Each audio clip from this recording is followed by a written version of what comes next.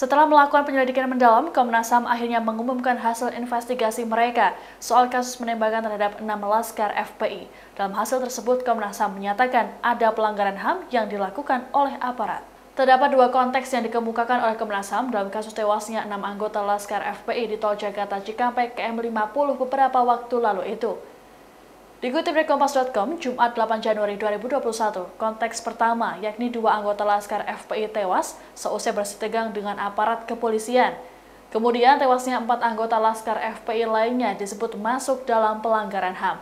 Hal ini seperti diungkapkan oleh Komisioner Komnas HAM Khairul Anam dalam konferensi pers. Anam menjelaskan keempat anggota Laskar FPI itu sempat dalam penguasaan aparat ketika masih hidup. Seperti diketahui, peristiwa penembakan yang menewaskan enam laskar FPI itu terjadi pada 7 Desember 2020 lalu. Terdapat perbedaan kronologi yang dituturkan oleh FPI dan juga kepolisian.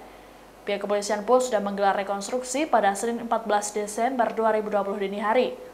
Dalam proses tersebut, polisi menggambarkan bahwa anggota Laskar FPI menyerang petugas lebih dulu. Kendati demikian, polisi mengatakan hasil ini belum final. Tidak menutup kemungkinan akan dilakukan rekonstruksi lanjutan apabila ada temuan baru.